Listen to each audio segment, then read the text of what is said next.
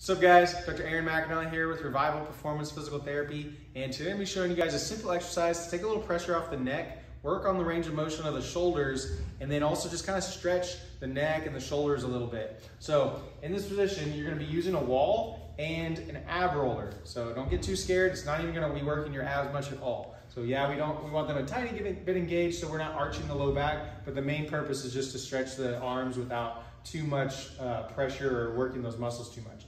So in this position, you're gonna be facing a wall, hopefully somewhere where you don't mind if it gets a little scuffed up at all. So we're using this board because it's easy to paint over and everything.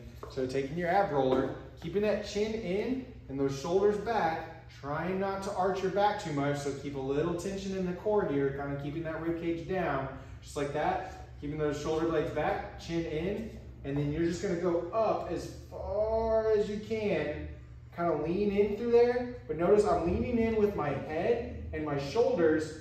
I'm not poking my head forward. I'm kind of leaning in through the shoulders a little bit, almost like I'm trying to get my chest to touch there, and that ends up bringing my elbows behind my ears here. So once again, I'm going up and leaning in through the chest, and then coming back down.